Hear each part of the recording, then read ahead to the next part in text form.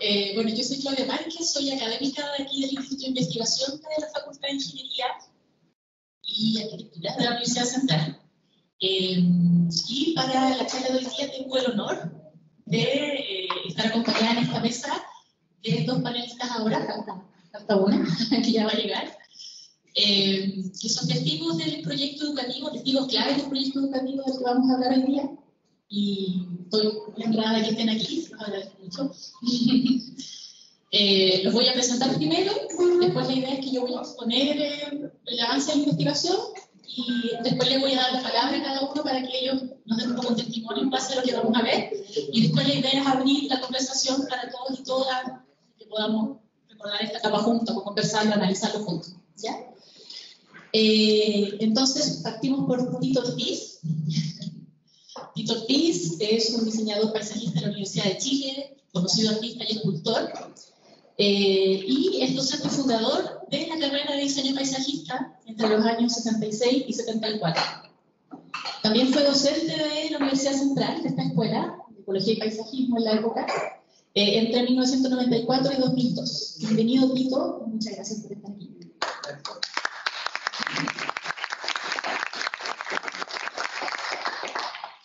Mi lado está Mónica Palma, también conocida diseñadora paisajista de la Universidad de Chile, docente de la misma carrera entre el año 73 y el año 80, y también docente de nuestra Escuela de Arquitectura del Paisaje desde sus inicios, en 1989, es decir, nos ha formado a varios de los que estamos aquí. Eh, eso, bienvenida Mónica, muchas gracias.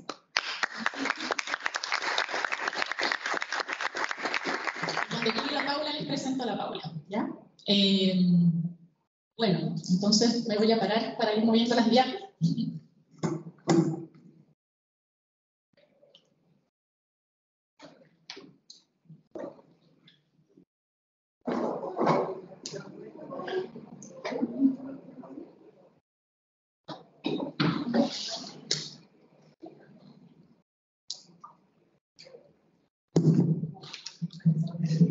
¿Se escucha bien? Sí. ¿Sí? Gracias.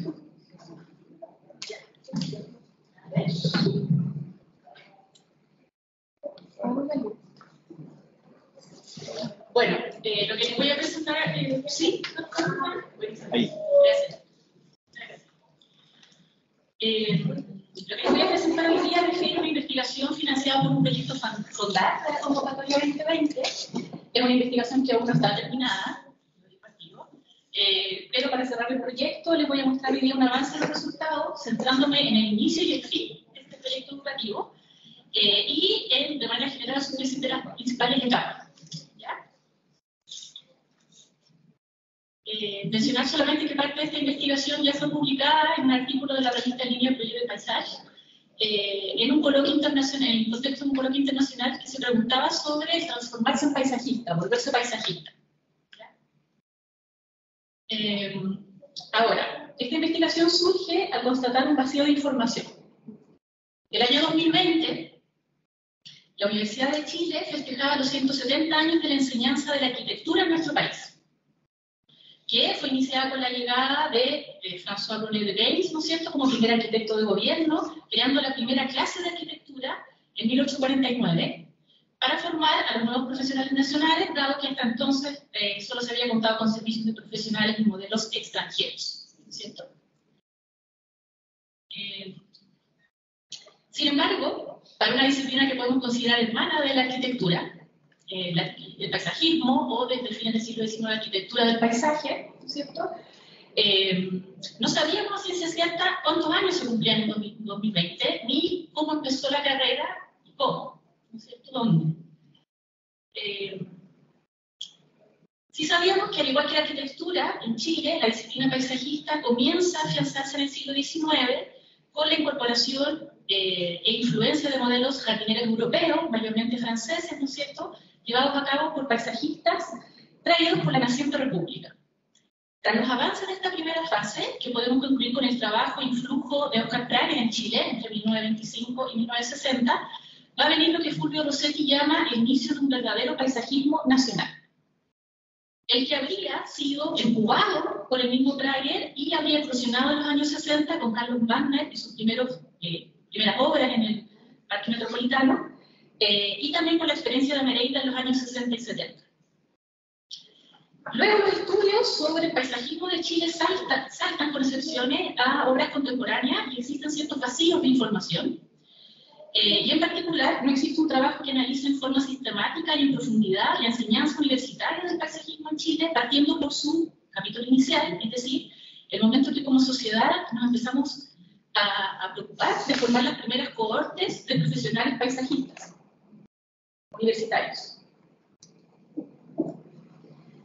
Entonces, el objetivo de este proyecto es investigar y reconstruir este desconocido capítulo fundacional a través de un ejercicio de recuperación de la memoria histórica, testimonial y proyectual del periodo. Esto se hizo principalmente a través de entrevistas en profundidad con 15 personas, antiguos alumnos, alumnas, profesores u otras personas relacionadas con, con la formación de esos años, que fueron un total de 24 entrevistas, eh, y también a partir de un material académico, administrativo o gráfico, proyectual que iba recuperando del archivo personal de algunas personas. Eh, y analizando, ¿no es cierto?, con la idea de poder describir los contenidos pedagógicos generales del proyecto educativo y la visión que lo sustentaba. Entonces, vamos a los resultados que nos convocan. Eh, lo que he encontrado hasta ahora es que a diferencia de la planificación estatal para el caso de la formación de arquitectos en Chile, la formación de paisajistas se inicia a partir de circunstancias casi azarosas, eh, de la mano de ciertos profesionales visionarios, en el espíritu abierto y moderno de la Escuela de Artes Aplicadas de la Universidad de Chile en la década de los 60. La Escuela de Artes Aplicadas, cuya formación y evolución ha sido muy bien estudiada en el trabajo de Castillo de 2010, eh, nace en el llamado contexto del modelo de desarrollo hacia adentro de Chile, que entre 1920 y 1970 va a promover desde el Estado una actividad industrial eh, de identidad propia y con un rol social, capacitando e integrando a los sectores populares. Y a partir de entonces, la enseñanza del arte y el diseño van a tomar una orientación productivista, ¿no es cierto?, separándose de la tradición decorativa de las bellas artes. Y luego de una serie de reformas educacionales entre el año 27 y el año 32, eh, ¿no es cierto? Va a surgir esta Escuela de Artes Aplicadas como una entidad independiente de Bellas Artes, alojada en la Universidad de Chile, y que buscaba desarrollar un arte nacional y moderno, eh, diseñando, perdón, dotado de una función social que exaltara el espíritu innovador de los estudiantes. La visión integral de la eh, Escuela de Artes Aplicadas va a sufrir muchas modificaciones a lo largo de, su historia, ¿no es cierto? Y bajo la dirección de Pelotti eh, va a sufrir una influencia importante de la arquitectura en particular después de la reforma de la Escuela de Arquitectura del año 45, y se van a incorporar arquitectos de la planta docente. El programa de la formación, integrador e innovador, incluía distintas disciplinas generales y talleres de especialización reunidos en las artes del fuego, de la madera, textiles, gráficas y del metal, articulados en torno a un taller central de decoración de interiores. Y se entregaba bien un grado de enseñanza universitaria de artífice o un certificado de artesano. Eh, esta integración entre artífice y artesano no se va a lograr muy bien en el tiempo y hacia 1950 se van a hacer manifiesta la distancia entre el enfoque, eh, digamos, de lo que es las, ramas de tablero de las ramas más de artesanía. Eh, y eso en particular a partir del mencionado taller de decoración de interiores, que si bien lograba dar un enfoque transversal a los distintos saberes de la escuela, eh, sin embargo, a partir de este se va a ir poniendo más énfasis en el saber y en el proyectar que en el hacer y el oficio de las manualidades. Tras la muerte de Perotti, va a ser el arquitecto Ventura Galván el que va a asumir como director de la Escuela de Artes Aplicadas hasta el año 63. Y es en ese momento, en esta escuela tan especial, como estoy describiendo, plantea una mirada integral al hábitat humano, es que hacia 1960 Galván va a ser contactado por Álvaro Kovacevic. Álvaro Kovacevic era entonces un paisajista autodidacta con algunos cursos de agronomía y que había realizado ya algunos jardines, había hecho un cierto nombre, eh, y con su personalidad excéntrica y visionaria, Kovacevic había comprendido la necesidad de desarrollar la profesión paisajista en el país. Y le había propuesto a Galván de aplicar las artes al paisajismo eh, cosa que acepta, acordando con Baselich, el desarrollo de un curso de paisajismo, formación de la que él se define como el fundador en Chile. Eh, a inicios de los 60, o al menos desde 1963, eh, debuta entonces un curso de paisajismo aplicado, ¿ya? Como materia general obligatoria de los estudiantes de taller de decoración de interiores de tercer y cuarto año. El curso se daba los días sábados en la mañana, en la recién implementada sede de Cerrillo, sobre la que volveré a hablar, eh, y era un curso teórico y práctico que asociaba espacios interiores y exteriores de la vivienda con ejercicios de diseño, selección vegetal de jardines en pequeños patios, eh, trabajados con perimetría, con plantas, con cortes, con elevaciones y con paredes.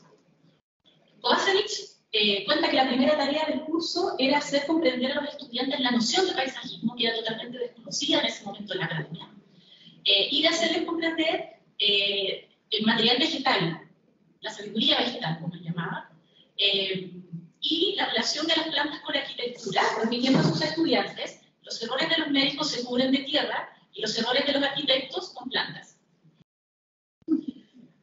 Eh, la integración de esta asignatura, como otras, respondía a una búsqueda dinámica para ir definiendo el perfil de los oficios a medida que estos se iban, digamos, desarrollando. Eh, como nos cuenta la ceramista Polinia Sepúlveda, que sigue esta asignatura en el año 63 y 64, era un constante para dónde, definiendo el perfil, y en el paisajismo se entendía que la vivienda y las nuevas edificaciones tenían un entorno imprescindible para vivir. Entonces eran parte de. Un ceramista que quería hacer macetas tenía que entender de plantas.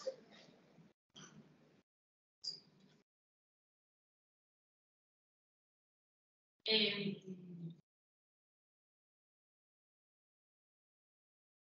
vemos justamente a la parte de esos años, Álvaro Kovacevic va a crear la primera empresa de jardinería de paisajismo de Chile que se llamaba Art Garden, ¿ya? Y va a construir importantes parques municipales como el más famoso del Parque Juan 23 en Ñuñoa y el maltratado Parque Vespucio, ¿no es cierto?, en la Conde de Vitacura, eh, entre los años 62 y 68, renovando un poco el diseño paisajista su campo, ¿ya?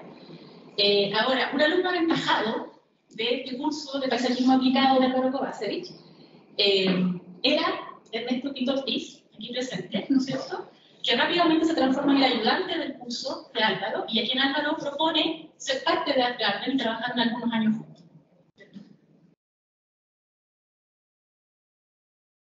Eh, una nueva etapa de la Escuela de Artes Aplicadas se abre bajo la dirección de Fernando Carachi en el año 63, cuando los estudiantes comienzan a ejercer presión para dar un verdadero carácter universitario, profesional a las artes aplicadas y un desarrollo de las diferentes especialidades, lo que va a llevar a tentativas sucesivas de reestructurar los planes de estudio y también se van a crear nuevas formaciones.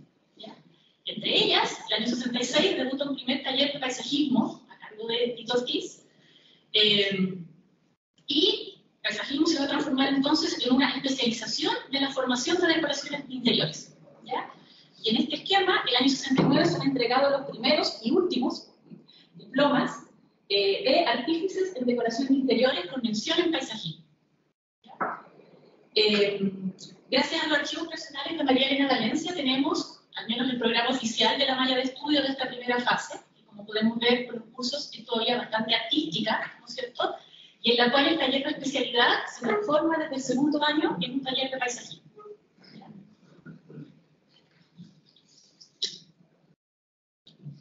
En este proceso de cambios, Álvaro Kovacevic deja la enseñanza para comenzar una carrera de cineasta eh, y deja cargo de la especialidad a su joven ayudante Tito Ortiz. en ese momento, y en acuerdo con el director Karachi, eh, Ortiz es reforzado por arquitectos para darle forma a la carrera, eh, como él nos cuenta, y entre estos arquitectos estaba en particular Carlos Marler, quien se hace cargo de los talleres de paisajismo de tercer y cuarto año desde 1967 eh, alcanzando a formar esta primera corte de eh, artífices con especialidad en paisajismo. Eh, aquí vemos, por ejemplo, justamente arriba un trabajo de taller de cuarto año, una maqueta, ¿no es de Mariana Valencia, que vemos esta conformación de circulaciones y perspectivas con masas vegetales. Y abajo vemos el proyecto de título de esta primera generación, es decir, el primer proyecto de título universitario en Chile, eh, que se realiza de manera global por los estudiantes, ¿no es cierto? Y que es eh, fuertemente, digamos, insistido que se hiciera por Carlos Martínez. Y consistía en las áreas verdes exteriores del nuevo aeropuerto Pudahuel, que se inaugurado en el 67, ¿no es cierto? Y que se propone como concepto un parque visual, ¿no? percibido desde el avión. Eh, aquí vemos, ¿no es cierto?, la fotografía de los estudiantes realizando los planos y las maquetas, ¿no es cierto? La enorme maqueta. Eh, y de esta época nos cuenta, en esta época eran, fueron unos 10 estudiantes se recibieron 5 hombres y 5 mujeres, y de ellos nos cuenta María, María Valencia, que eran todas muy activas, muy enamoradas de lo que decíamos, la mística era una cosa. Yo vivía en ese mundo y era toda mi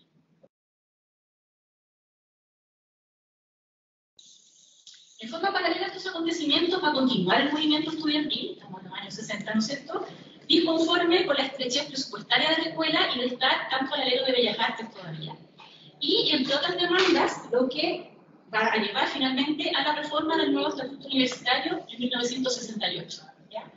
Eh, a partir de esta reforma, la Facultad de Bellas Artes da paso a una serie de departamentos y la Escuela de Artes Aplicadas queda dividido en dos departamentos. Por un lado, un departamento de artesanía, con profesores y alumnos de las ramas de diseño formadas por artistas, eh, que van a permanecer en la sede tradicional de Arturo Prat, y por otra parte, el departamento de diseño, ¿ya? con las ramas de tablero formadas por arquitectos, y que pasa a ser parte de la sede de Occidente, junto con las ciencias físicas y matemáticas, y físicamente va a ser trasladada a la, sede de Cerrillos. Junto a la Facultad de Arquitectura y Humanismo. Juntos pero no revueltos. eh, el campus de Cerrillos eh, está en un terreno ubicado, ¿no es cierto?, a costado de la avenida Pedro y Reserva, y había sido donado por el empresario Salomón Sack en 1957 a la Universidad de Chile. Eh, y este periodo se había reconstruido por el Grupo de Investigación Núcleo Cerrillo de la Universidad de Chile. La cosa es que entre las seis nuevas carreras que nacen de diseño en este departamento de diseño aparece diseño paisajista, cuyos programas definitivos eh, y certificados de creación definitiva se producen en el año 70, de manera oficial.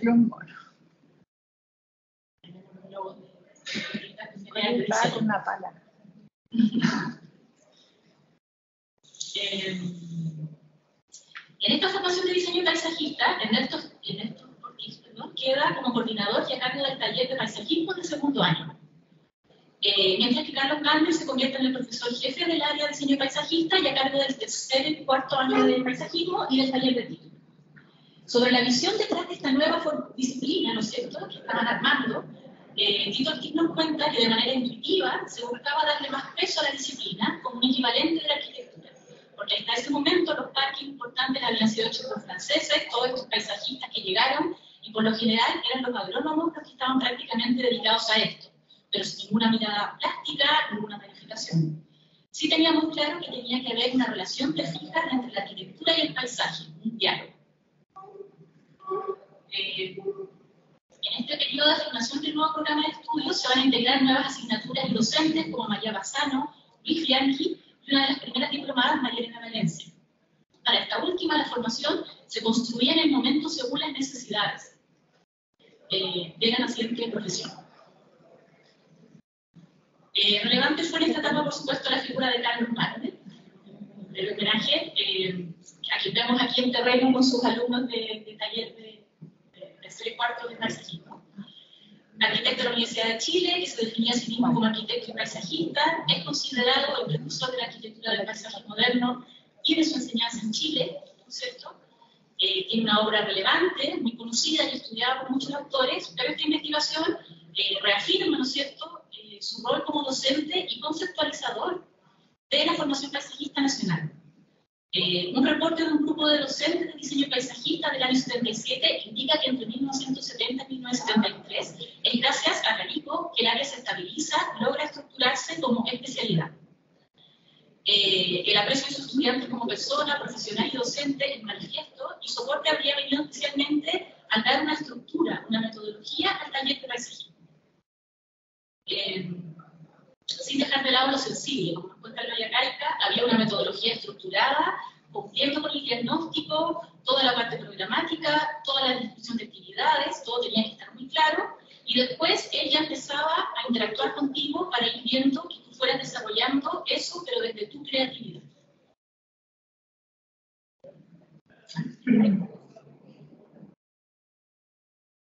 Eh, de acuerdo al relato de cinco diseñadoras paisajistas de la generación más o menos entre el 67 y el 73 de la carrera, esta era gratuita, ¿cierto? En esos años, muy selectiva al ingreso. Eh, duraba cuatro años más un quinto año consagrado al proyecto de título. El primer año era común para todas las carreras de diseño, eh, con un taller de iniciación en que se mostraban todas las especialidades. La formación estaba articulada en tres líneas temáticas alrededor de la línea principal del taller, una línea humanista, humanismo, historia, sociología, eh, una línea robusta de diseño desde el plan común, con destacados artistas como profesores, mucho trabajo de dibujo, por ejemplo, además de construcción, composición, etc., y una línea de botánica, jardinería y suelos. Ahí ven ustedes los nombres de algunos profesores y profesoras de estos distintos ramos, la mayoría en arquitectos. Y para la titulación debían realizarse además tres prácticas profesionales. Eh, en 1970, ya la carrera contaba con 45 estudiantes y 20 titulados. Los alumnos eran pocos, una quincena por nivel, lo que se mantiene, y mayormente mujeres, algo también se.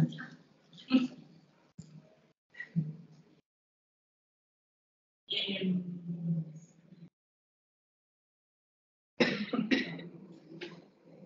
eh, desde, aquí vemos a las estudiantes de la sala de clases de taller de paisajismo, eh, donde estaban todos los niveles juntos, en una misma sala, en un mismo espacio. las clases de taller eran todos los días, de lunes a viernes en la tarde, y los ramos teóricos eran dados en la mañana. De esta forma, los estudiantes pasaban todo el día en Cerrillo y sus jardines. Desde la primera generación de egresados se instala también la tradición de los viajes de estudio anuales, ¿ya? en relación con los talleres de cada año. Un emblemático viaje fue el realizado a Machu Picchu en el año 69, eh, con alumnos y profesores, ¿no cierto?, de la carrera, eh, asociado a prácticas estivales, ¿no cierto?, y este tipo de actividades generaba una convivencia muy constructiva entre estudiantes y docentes, colaborando con la mística de la escuela. Las entregas de taller comprendían láminas de análisis, plantas, cortes y elevaciones, hechas a mano, ¿no es cierto?, en la época, eh, detalles constructivos, además de maquetas. Se trabajaban distintos trabajos en el año, muchas veces en forma grupal, y de hecho los proyectos de título podían también realizarse en grupo o de las personas. La mayor parte de los ramos eh, estaban integrados al taller. Como nos cuenta Marilena Valencia, eh, estaban de, de, construcción al tiro, el, edafólogo al tiro, eh, estábamos todos ahí alrededor de una mesa y todos los alumnos, era una cosa, una dinámica maravillosa, lo que llamábamos talleres integrados.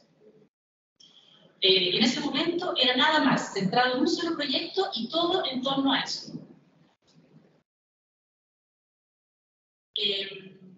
La mayor parte de los proyectos eran espacios verdes urbanos con un carácter social marcado, muchas veces coordinados y comandados por municipios o otros organismos locales, gracias al compromiso de los docentes y administrativos de la época. La progresión de los talleres de paisajismo iba aumentando la escala y el grado de dificultad, ¿no es cierto?, desde clases y jardines en taller 2 a parques de mayor escala desde el taller 3. Algunos proyectos de taller podían incluso alcanzar una escala mayor, como un ejercicio de planteamiento de la localidad de Yico, realizado en 1969 junto con la Junta de Vecinos Local, donde nos cuenta Mónica Palma, eh, se trabajaba a una escala más o menos grande, había que considerar drenajes naturales, los cerros, eh, aunque quizás el objetivo era más bien de espacio público, más que una recuperación de paisaje. Vemos que ya en ese momento a la semilla de apertura al gran paisaje, año 69.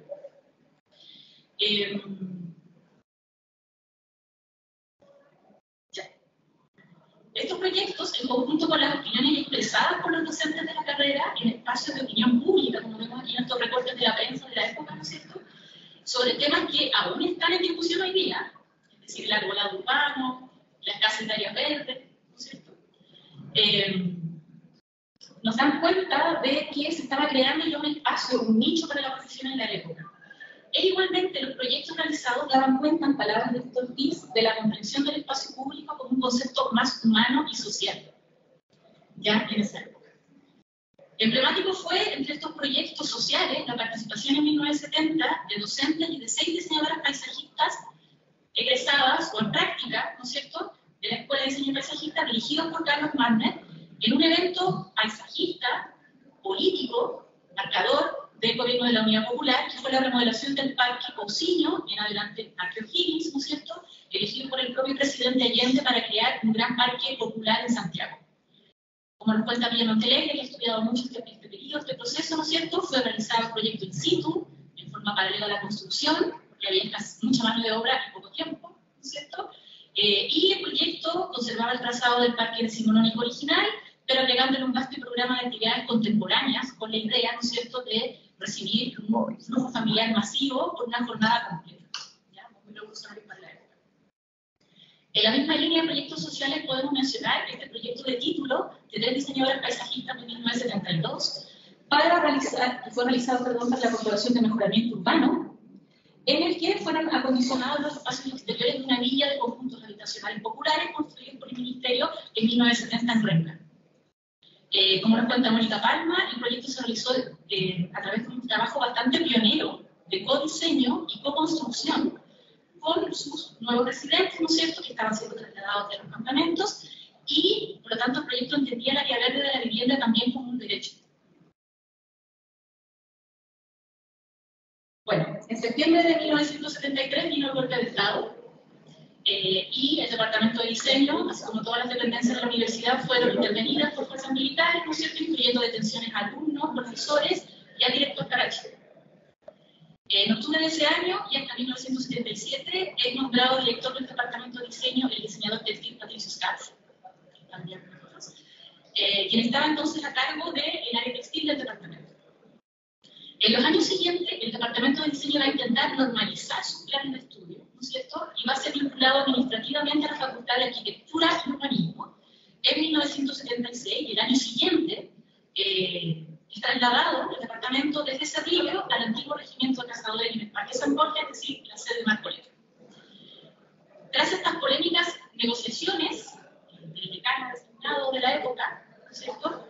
Eh, Gastón Echeverri, eh, el campus de Cerrillo pasó desde entonces a ser la sede de la Escuela de Formación de Carabineros. Eh, en cuanto a la carrera de diseño paisajista, tras el golpe militar, muchos de sus docentes se van de Chile, eh, incluyendo los profesores Carlos Manner, Ernesto Ortiz, Sergio Sosa, Marilena Valencia. Y este exilio y dispersión del cuerpo de profesores va a significar una desestructuración importante eh, de la carrera, que queda por la mitad de sus docentes a inicios del año 74. Entonces van incorporando distintos profesores que pasan, van rotando, ¿no es cierto? algunos permanecen más tiempo, como Mónica Palma, que queda a cargo del taller de paisajismo de Gilaserio Antía a Tito Ortiz, y también queda a cargo del curso de composición vegetal.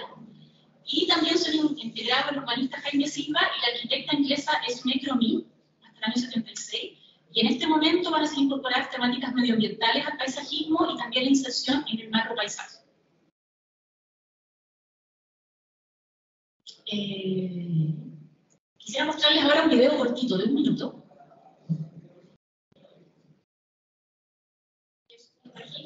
documental de promoción de la Escuela de Diseño de años.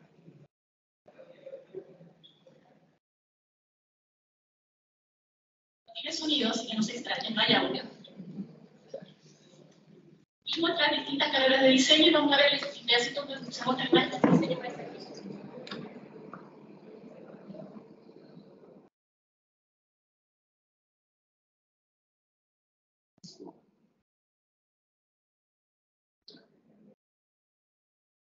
El video fue guardado por mucho tiempo por Patricio Scaff y puesto en valor hace poco.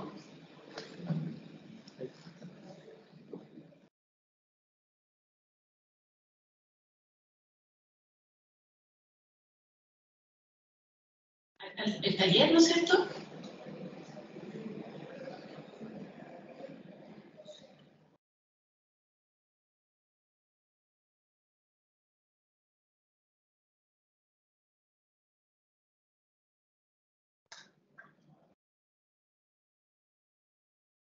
Plano, las maquetas,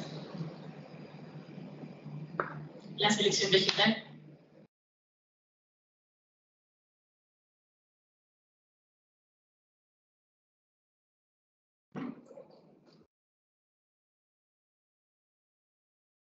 Y el a cargo de María Bazán.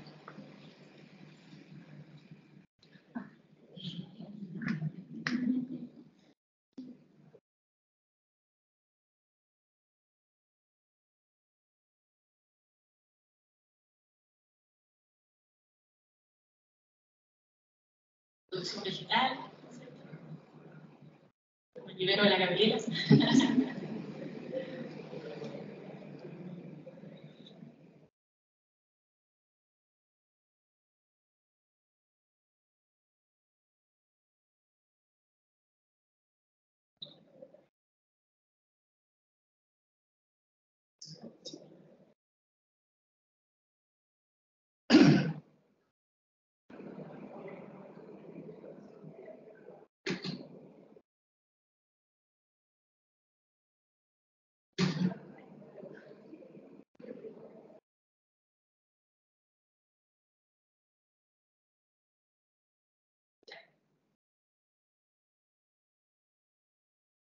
Eh, en este último periodo de la carrera, ya entre el año 73 y el año 82, vemos aquí el plan de estudios que fue recuperado por Paula Rodríguez Peña, la tercera panelista que llegó, eh, quien ingresa el año 1977.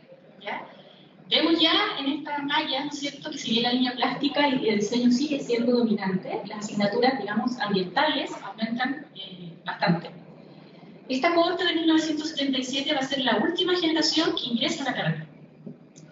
Eh, usando los talleres de primer año en Cerrillo, pero luego continúan en la sede de Marcoleta, al alero de arquitectura, donde de hecho se les ofrece que se pasen la carrera de arquitectura, cosa que ninguno acepta. Eh, y de todas maneras, los talleres de paisajismo de tercer y cuarto año se trabajan de manera integral con arquitectura y son dirigidos por arquitectos.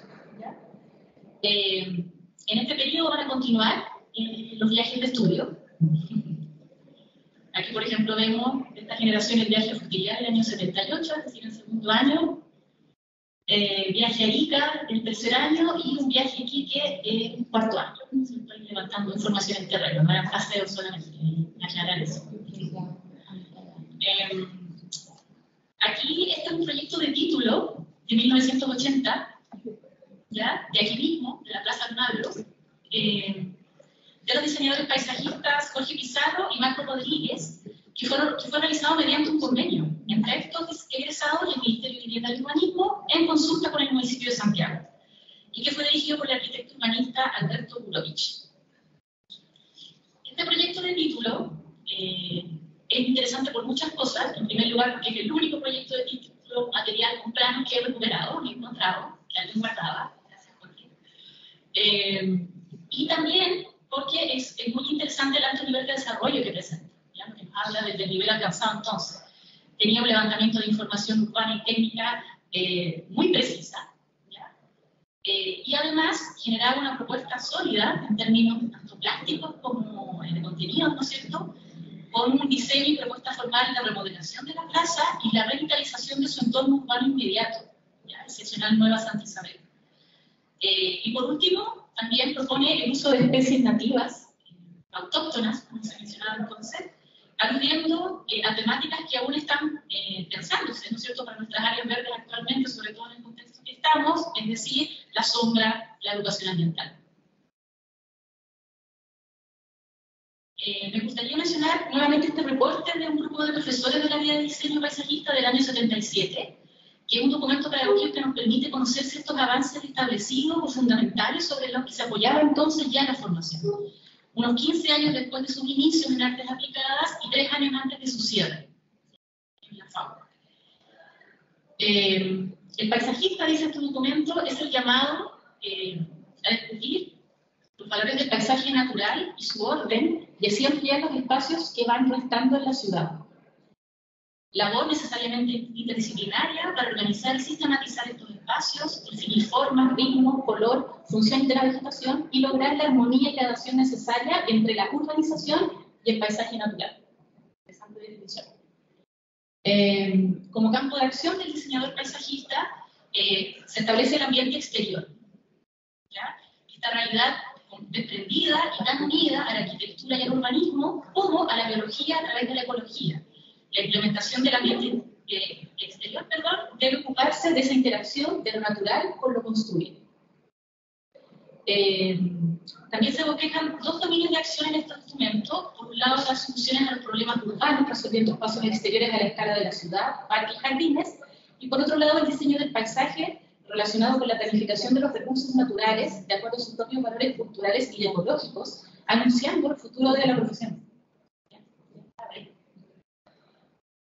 Eh, también cita el documento una serie de principios relevantes y pertinentes hasta hoy, ¿cierto?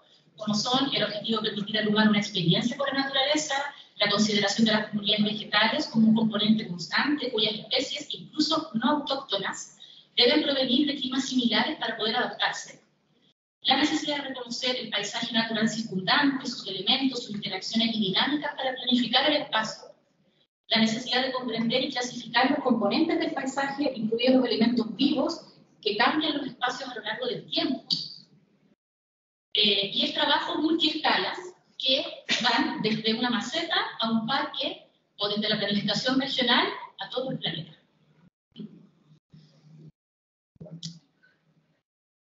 En 1980, de todas maneras, a pesar de los logros alcanzados, eh, la Universidad de Chile cierra finalmente las carreras que quedaban del Departamento de Diseño, junto a otras carreras de la universidad, ¿no es cierto? Y se abre un periodo eh, para permitir la titulación de algunos egresados rezagados que no se habían titulado, lo que termina el año 82. Eh, en 1996, la carrera de diseño va a volver a la Universidad de Chile, pero no va a volver diseño paisajista. Ahora, si bien en el año 80 acaba este proyecto inicial de formación paisajista profesional en el país, lo cultivado va a tener múltiples frutos. ¿ya?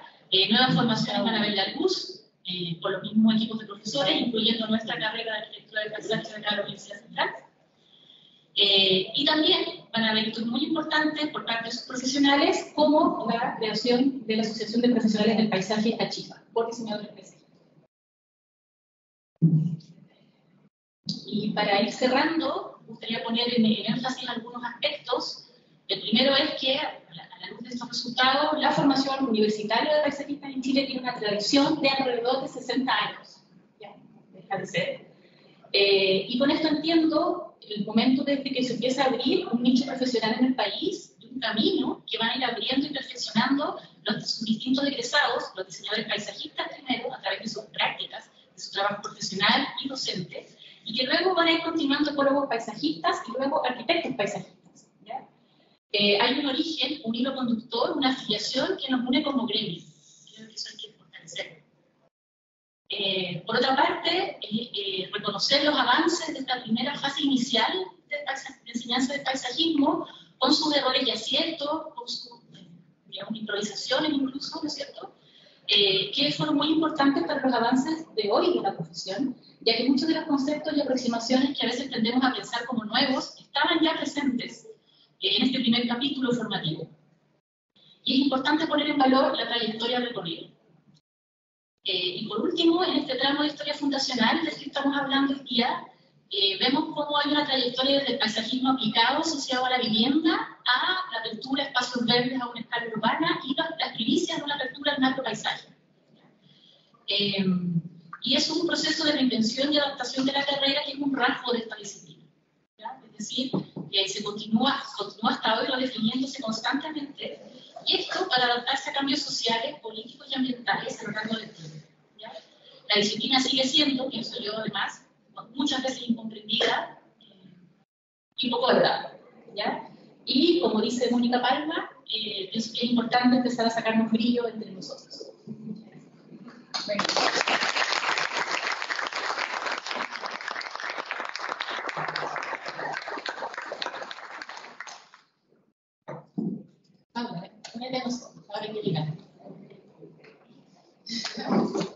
mientras la presento, Paula es diseñadora paisajista.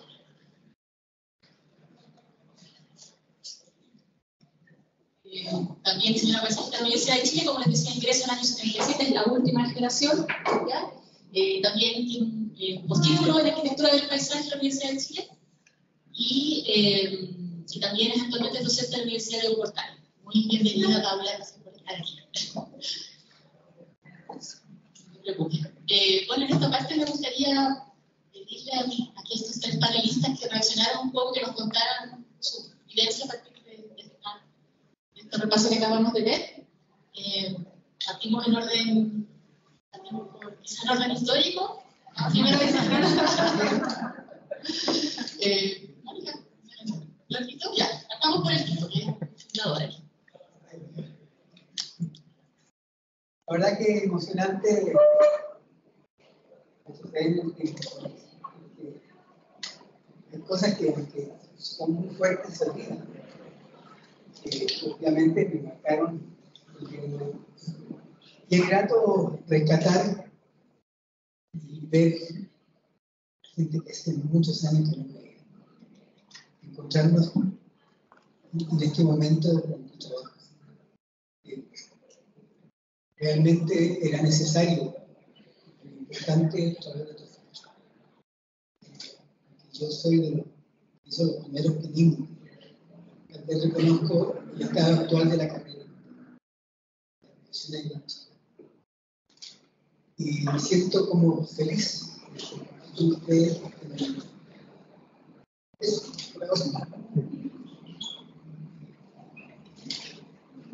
¿Escuchan? Bueno, pensé hablar primero, pero tenía que respirar un. Porque es muy impresionante, en primer lugar, el trabajo que has dado en el patrimonio en el cual estamos todos representados y, completamente reflejados. Pero lo más impresionante es eh, ver, como, espectadora algo de lo que en gran parte ha sido protagonista y que eh, como dice Tito, eh, eh, la verdad es que también eh, eh, no nos hemos dado cuenta tampoco, nosotros mismos no nos hemos dado cuenta de aquello, por lo tanto tú nos, haces estar más conscientes. Por otro lado, como todos estamos en procesos tan, tan vertiginosos también de trabajo, en todas las generaciones y todo lo que estamos viviendo además ahora, no puedo dejar de conectar esto con, el trabajo actual que estoy haciendo, de no voy a hablar. Pero sí tiene que ver con, con de verdad la evolución del paisaje habitante y, y, y, de todo lo que el paisaje nos incide y de lo que nosotros hacemos el paisaje, en el fondo, se contacta el hecho de que somos paisaje nosotros. Entonces, somos, hacemos paisaje y nos formamos en el paisaje. Y, y la conexión que hago con ese pensamiento y con lo que vi escuché es que hemos evolucionado como un paisaje, en realidad. Eh, desde una cosa muy mínima, de una génesis diminuta, que lo hemos ido asomando a, la ventana primero. Primero miramos adentro de nuestra casa, qué nos hace falta, más luz, más contacto con lo natural. Luego de ahí, bueno, empezamos con los maceteros, a lo mejor todavía yo sigo siendo un macetero. Y eh, luego eh, eso eh, simbólicamente después miramos de la ventana hacia afuera, del patio hacia afuera, de nuestro entorno natural, ya a lo macro, y nos hemos dado cuenta, eh, así en forma sectera y consciente, de que desde todos nuestros campos de actuar y lo que hemos hecho en, en, todo lo que trabajamos en esto, la verdad es que hemos ido tomando conciencia en base a una necesidad, una necesidad que ha ido dando, se ha ido de eso dando cuenta en los programas, en los temas, ¿ya? En lo que estamos ahora. Entonces, pero no, tengo casi palabras para, para, definir lo que tú has. Es un valor impresionante, no solo para nosotros, es un valor para el país, más aún. Esto es un valor para toda Latinoamérica. Eh, vínculo con el, digamos, en ese ámbito que me desenvuelvo bastante, porque estamos ya listos casi con un convenio latinoamericano al paisaje que considera, ¿no es cierto?, toda la línea de lo formativo, sino cómo, sino cómo. Pero también hay que comunicar. Y lo último que dijiste, si nosotros no nos damos cuenta de que, el valor de lo que hacemos y lo que tenemos entre manos, ¿quién se va a dar cuenta? ¿Cómo lo, cómo lo transmitimos? O sea, lo que yo quiero decir es que hay que transmitirlo, hay que mostrarlo y eh, más que, que nos aplaudan, que, que, nos escuchen, que, que, que haya sensibilidad, conciencia, a todos los niveles. En primer lugar, nivel común, gente común, el almacenero en la esquina, el taxista, a toda la gente que nos rodea y que somos parte, pero también en el ámbito público. O sea, permear fundamental, desde abajo hacia arriba. Y la única manera, porque desde arriba hacia abajo casi nunca pasa, pasa mucho.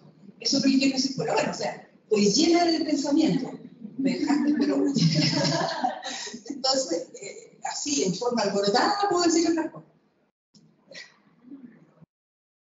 Eh, agradezco de verdad toda esta investigación, porque, eh, como dice Mónica, ser espectadora de algo que uno fue protagonista, y bueno, yo soy de las últimas generaciones, me tocó otra escuela, otros profesores, yo creo, otra mística, pero mm, creo que nuestra generación fue una luchadora y hasta el día de hoy por la carrera, porque de hecho nos ganaron la carrera en el segundo año.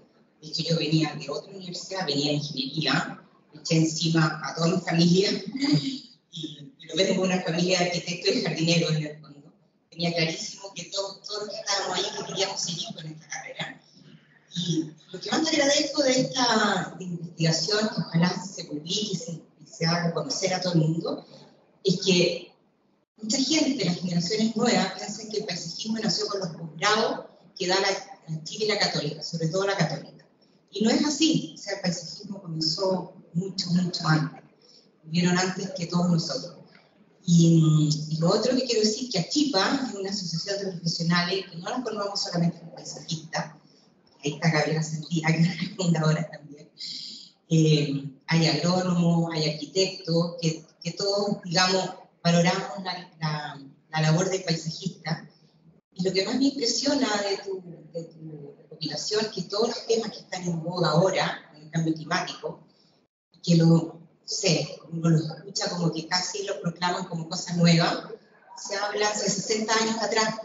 Entonces, yo tengo documentos, bueno, Mónica y Lucho Bianchi fueron mis mi mentores, unos grandes profesores, y tengo documentos de los años 80 que se habla de lo que se está hablando hoy en día. Entonces, solo agradecerte toda la investigación que hiciste y también fue un trabajo, de, gracias a tu trabajo conecté a toda mi generación y ahora nos juntamos una vez al año, me mandaron fotos, fue como, porque uno se olvida las cosas, fue un lindo recuerdo, la verdad. Así que ojalá se, se muestre. Gracias. No sé si alguien más quiere decir algo.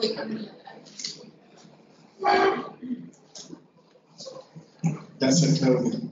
Eh, me habría gustado quizás haber visto algunas palabras antes, pero igual eh, agradezco estar acá. Mi nombre es Uwe Robles, que me conocen. Soy el director de las carreras de arquitectura y arquitectura de Así que eh, también agradecerle a, a Claudia una excelente presentación y la investigación que sé que esto sigue, pero yo aprendo muchísimo y eso ya me, pone contento estar acá y agradecer a Ernesto, a Claudia y a Mónica por estar acá. Yo sé que hay muchos más que quizás me conocen, yo no los conozco, pero me parece que la familia paisaje está creciendo y está viva.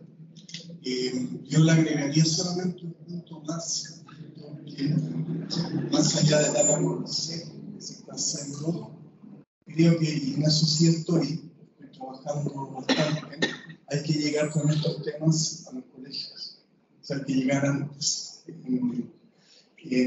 solamente agregar que en mi propia experiencia, el estar más cerca de lo natural, del paisaje, me permite sanar, me permite otra forma de vida. Y el espacio público hoy día necesita de eso, necesita eh, sanarse, necesita volver a ser más natural. Y eso es un trabajo que sí ustedes pueden hacer muy bien, y lo saben hacer.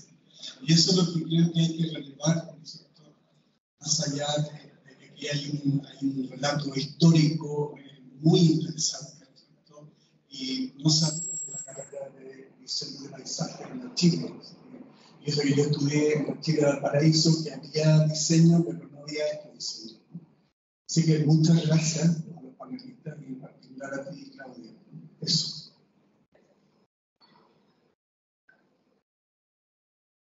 Irene, diseñadora paisajista, ¿quiere algún recuerdo? eh, quería hacer un alcance. Eh, como entiendo que el estudio sigue, sigue en proceso, entonces a lo mejor sería bueno incorporar a Juan Luis. Ah, a lo mejor sería bueno incorporar a Juan que también Sí, y creo que planteó una forma distinta de enseñar, siendo que lo hacía en terreno. Eh, era bien interesante la forma que él enfocaba el paisajismo. Ese periodo falta, justamente también los cartanineros pasó por ahí. También.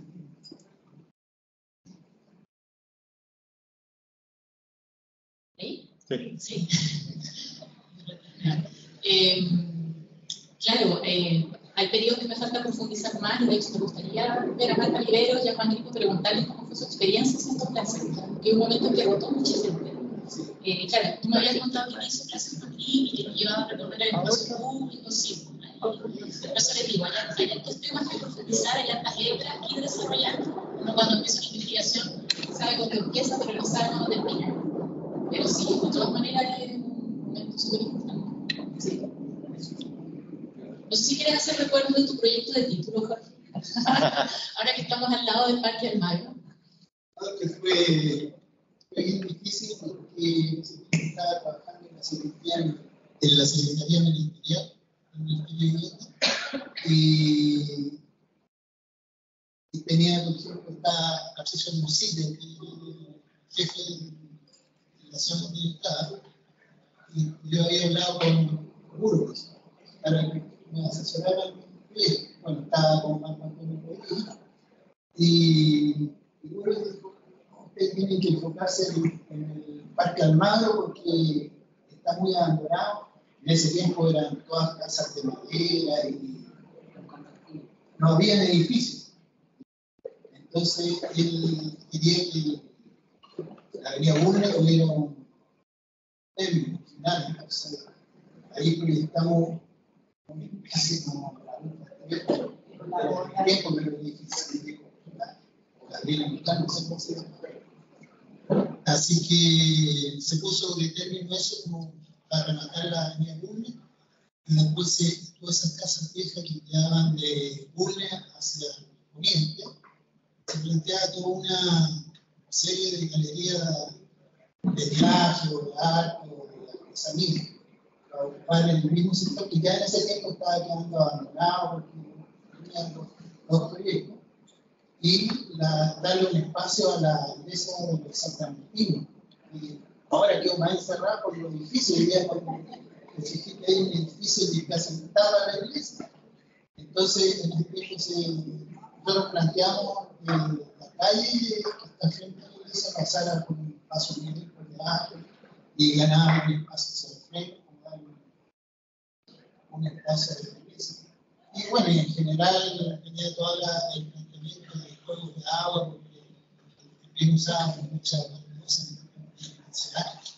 Y había juegos de agua y la, la actuación, como habíamos, estado en el ministerio con Sergio Moreira y Así que dejamos influencia de, de las plantas nativas. No sé qué. Solo por si alguien quiere. ¿Ah?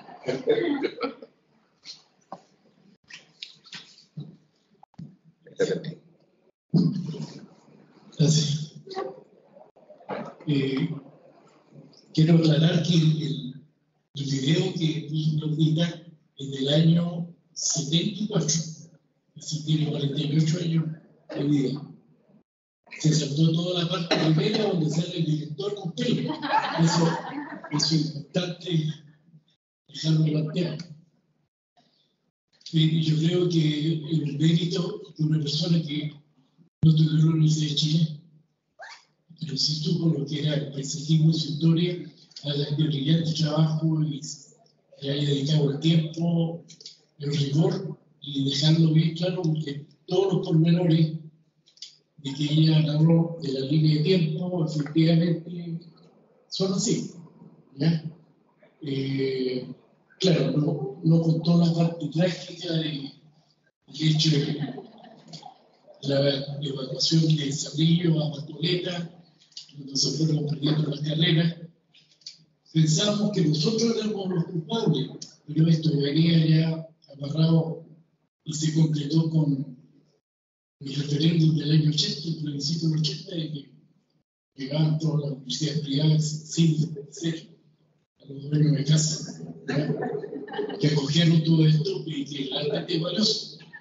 Eh, y, es curioso que, y si lo recuerdo que hace Tito, Mónica y Paulina, que tengo grato recuerdo de ella, eh, el año 72 ¿sí?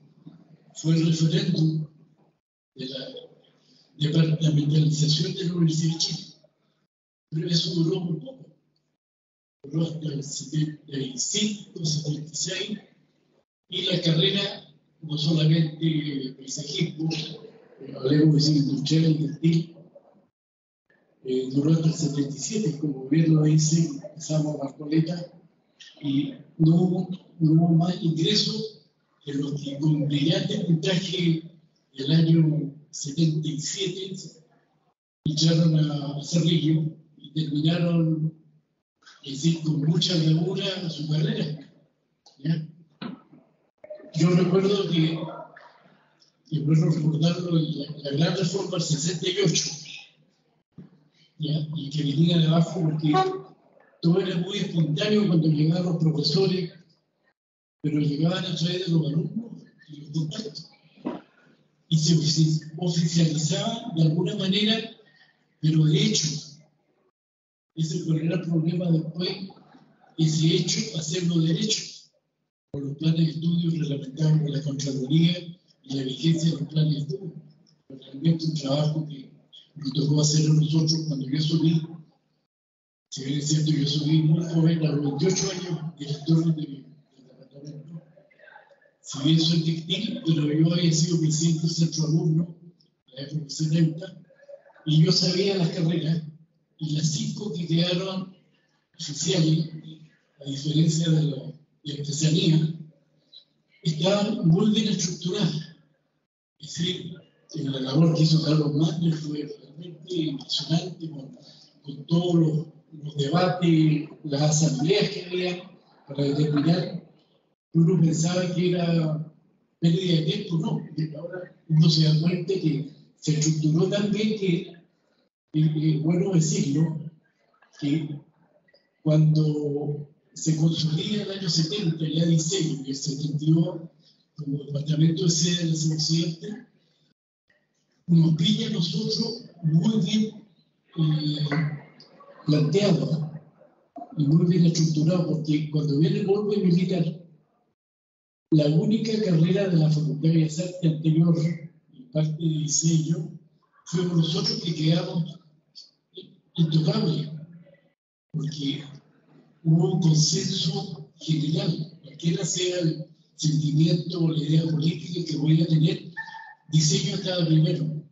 Y entre eso, cada especialidad era un pequeño, era muy hermético, era un pequeño feudo que se respetaba y mucho poco interferían en ellos. Por ejemplo, todo el caso de Industrial, que fue bien caótico, ¿no? pero las otras carreras fueron realmente muy bien estructuradas, los alumnos muy, es decir, ellos mencionaron nomás, en ese tiempo se daba la prueba de arte, estamos hablando de los 70, de la prueba de Una de las opciones era arte y postulaban, rendían más de 11.000 personas, de los cuales, de cierta manera, elegían diseño. Y diseño solo podían echar 100 por problema de espacio. Y el número mágico era 20, 20, 20, las cinco carreras. Y ahí llegaba gente de primerengue común y de derecho Osorno. Y la estructura estaba muy bien hecha y, y eran muy aferrados a su carrera cada uno. Eso fue muy importante. Así que, bueno, quiero felicitarlo por el trabajo que hicieron, el recuerdo 60 años, pero ser mucho más. ¿ya? Es toda esta historia como van haciendo de un curso, de una petición, de un, una asignatura, de un taller complementario a taller principal y carrera como Dios manda. Así que felicitaciones y me alegro estar compartir con ustedes.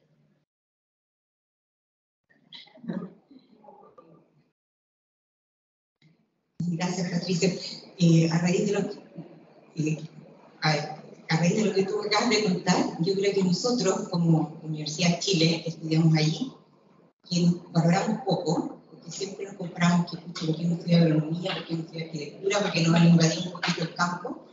Pero yo tengo dos compañeros de curso que se fueron a trabajar afuera, una de ellas en Suecia, lleva 40 años trabajando en un estudio de arquitectura y paisaje, y nada más que por ser de la Chile, su plan se lo reconocieron absolutamente entero, no tuvo que hacer ningún curso más. Incluso la carrera ya de arquitectura y paisaje tiene menos ramos que la que teníamos nosotros.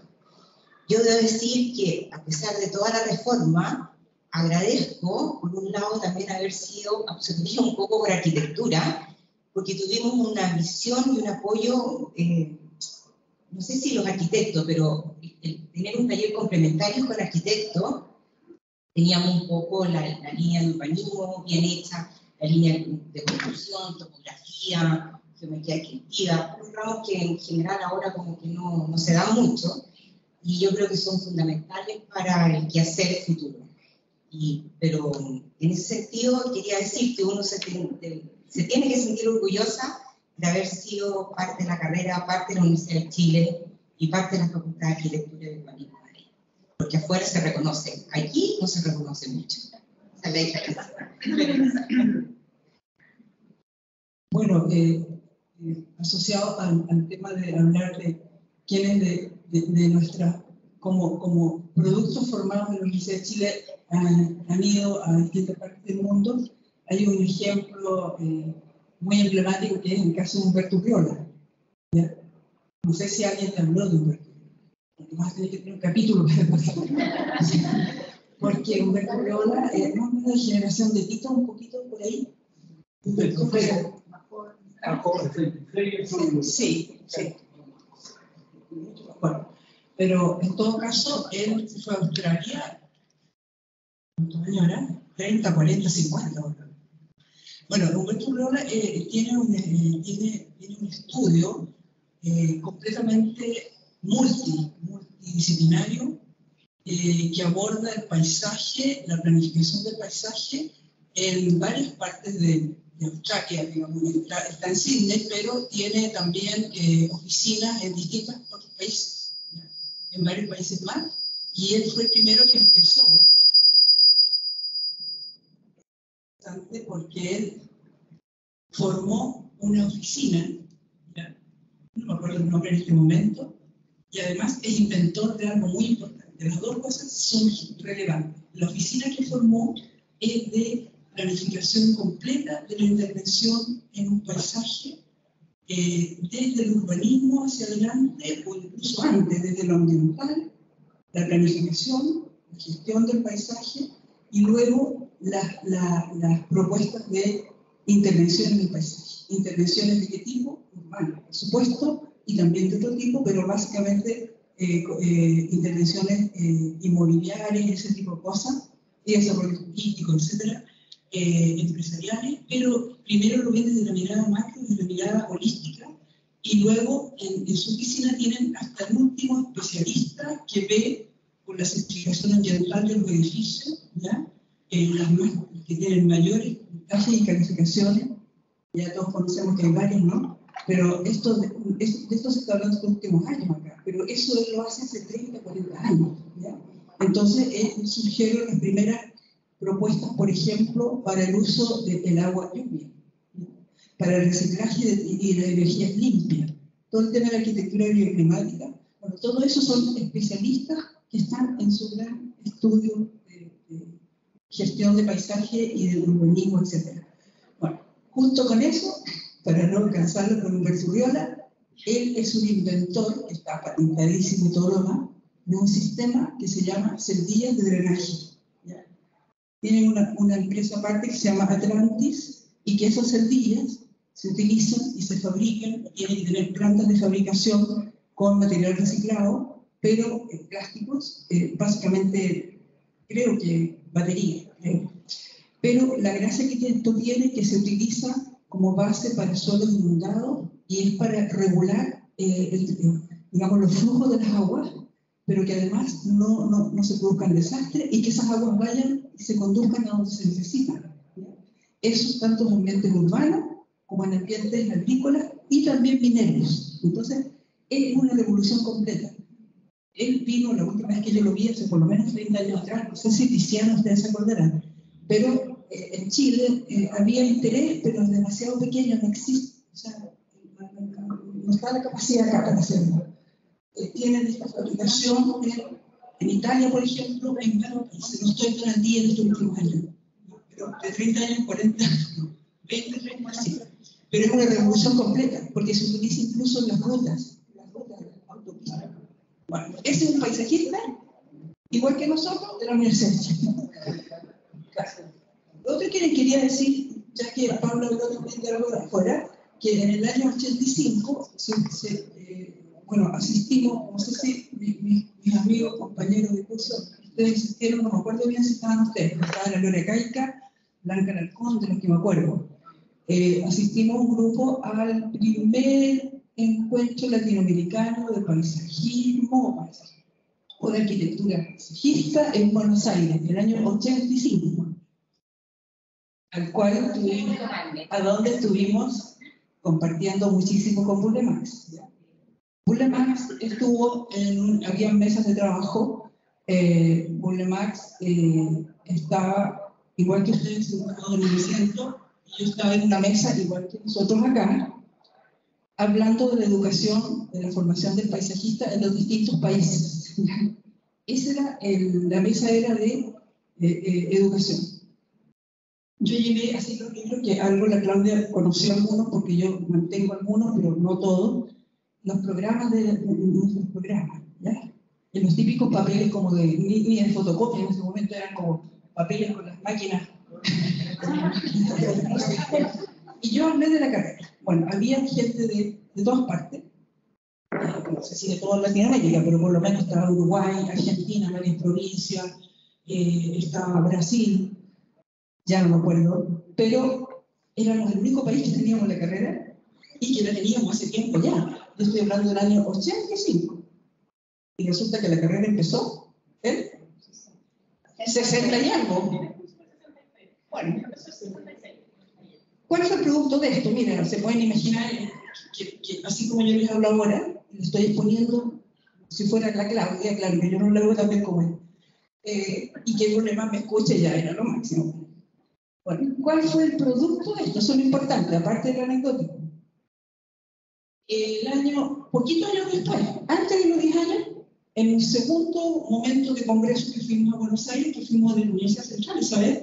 con un montón de alumnos que nos fuimos mundo de la misma universidad y profesores, con, con proyectos a exponer y todo, ahí en ese congreso se da la noticia de que la UBA, la UBA crea la carrera. O sea, genera la carrera, se genera la carrera ahí y después, no me acuerdo el año, pero posterior a esta, a esta como referencia que tuvieron de Chile, en ese congreso del 85, se forma poco tiempo más tarde, en la Universidad de la República de Uruguay, también la carrera. Entonces, esos son los dos datos concretos que yo manejo, porque fue como un detonante, ¿ya? Es como un detonante. Eso quería comentar porque era como complementario y anecdótico.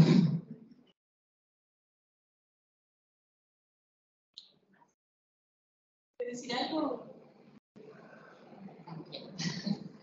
Bueno, eh, yo de conclusión entonces un poco quiero en primer lugar agradecer a todas las personas que me dieron su tiempo para, para contarme de esto y responder a mis preguntas. La gente que tiene material, la pobre Mónica estuvo en su departamento horas y eh, muchas gracias. Y, y nada, y, la importancia, me quiero quedar con esta idea de la importancia de esta primera etapa la disciplina en Chile, ¿no? que eh, hay un hilo conductor que es el paisajismo, diseñador paisajista somos paisajistas, en mi punto de vista, ¿no? somos paisajistas y Eh, y, es muy importante rescatar esta primera etapa porque no, no venimos de un lugar, digamos. Venimos de, hay una trayectoria larga, importante, y, no tenemos que inventar la pólvora cada vez. ¿no? Entonces es importante eh, que estemos acá, que nos conozcamos, que nos veamos, poner en valor estas etapas, ciertas personas muy importantes, ¿no es cierto? Eh, y nada, ojalá esta, la Universidad Central se creó como una hija, hay una afiliación con la Universidad de Chile, son profesores de la Universidad de Chile que formaron la carrera de arquitectura y eh, de en esa época ecología y paisajismo, ¿no es cierto? Eh, muchos de los profesores de taller llegaron, ¿no es cierto? El mismo Tito, la Mónica, fueron profesores acá también, la Paula también, también se claro. Eh, entonces hay una afiliación, esa, esa semilla ha seguido, digamos, desarrollándose. Eh, y, nada, la Universidad Central es su casa, que lo sepan, eh, estamos para lo que necesiten.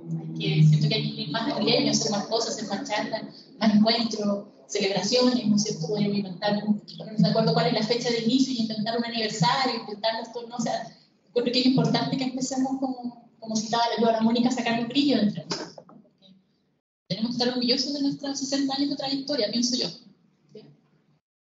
Eso. Muy importante. Ya, vamos a pasar a los comerciales. El comercial número uno es que tienen que responder una encuesta.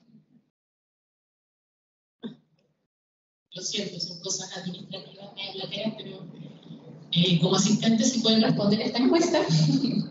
El segundo anuncio comercial es que hay un cafecito muy rico al fondo de la sala, para terminar ahora, eh, que nos trae ojos inmensos, anuncio comercial. y eh, lo tercero es que, claro, estamos empezando a inventar un poco ahí con Ricardo. Llevamos esta semana la Semana de la Arquitectura del Paisaje.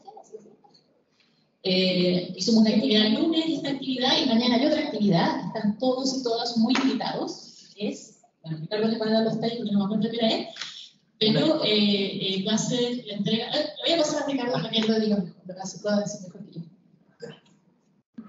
Sí, mañana eh, nos vamos a juntar a las 1 y cuarto para conmemorar eh, algo que no, no, teníamos tanto, que es un premio, un premiado entre los arquitectos paisajistas. Y así como el ICHAP empezó hace algunos años premiando la trayectoria. De hecho, Carlos Margen fue el primer eh, premiado en ese, en ese momento, eh, que creo que fue el 2019, 2018, Mónica estuvo ahí también. Eh, nosotros queremos empezar este 2022 con el primer premio USEN a la trayectoria en arquitectura del paisaje en Chile. Entonces, mañana, una 15 de la tarde, vamos a estar con la entrega de este primer premio y sería muy, muy bonito que, que nos acompañaran. Eh, el premiado, la premiada eh, es sorpresa todavía y lo vamos a develar mañana. Así que la esperamos, lo esperamos todos invitados a eso. Aquí mismo, además, en este auditorio.